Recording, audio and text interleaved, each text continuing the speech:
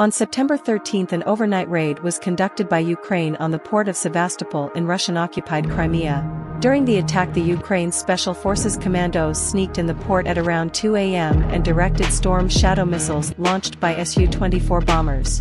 The attack severely damaged the port repair facilities, destroying a large landing craft and a Kilo-class submarine.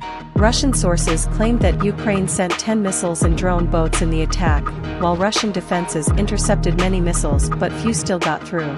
The satellite photos confirmed the damage in which it can be seen that the ship and the submarine are both severely damaged. First-hand photos and videos also confirm the state of damage. This is one of the most daring raids conducted by Ukraine to hinder Russian war-fighting capabilities. Estimate of damage is in proximity of US $450 million. Thanks for watching, please like and subscribe for more.